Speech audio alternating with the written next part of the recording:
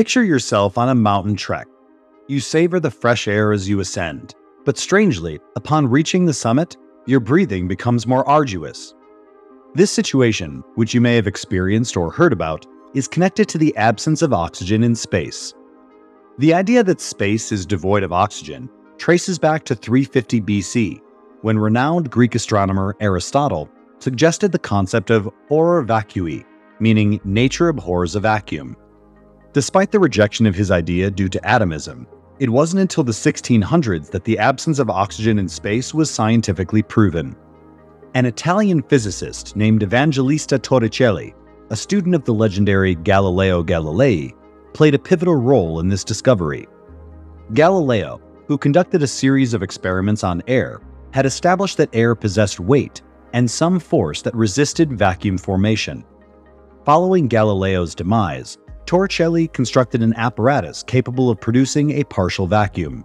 By 1644, Torricelli had deduced that atmospheric pressure resulted from a downward force exerted on the Earth's surface by air, and declared, We live submerged at the bottom of an ocean of the element air, which by unquestioned experiments is known to have weight.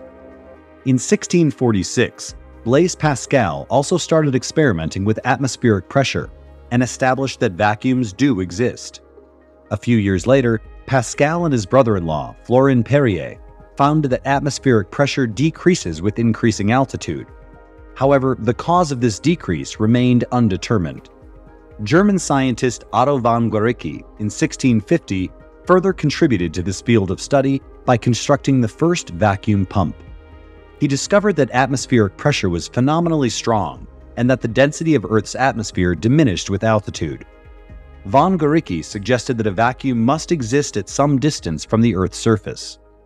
Sir Isaac Newton, one of history's most influential scientists, proposed the theory of universal gravitation in 1687. Newton explained gravity's role in keeping us grounded on Earth, and importantly, in causing atmospheric pressure. As we ascend further from the Earth's core and into the higher layers of the atmosphere, the effect of gravity diminishes. Consequently, oxygen concentration is higher in lower atmospheric layers and decreases with altitude, causing breathing difficulties at higher elevations. With rising altitude, the air molecules, including oxygen, are spread out to the point where we label this region as a vacuum or say that there's no air present. That is how scientists deduced the absence of oxygen in space. This revelation was not straightforward. It involved the dedication of many brilliant minds and the execution of numerous meticulous experiments.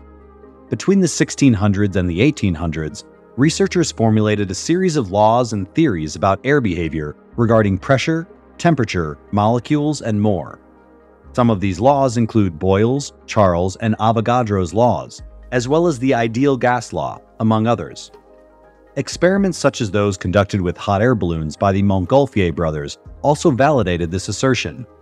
These experiments demonstrated the decreasing concentration of air, and consequently oxygen, with increasing distance from the Earth's surface. Such investigations, which were coupled with scientific theory, eventually led to the astounding conclusion about the empty and oxygen-free nature of space. If you enjoyed this video, we'd love to hear from you in the comments section. Your feedback not only supports us, but also helps our channel reach more viewers and continue to grow.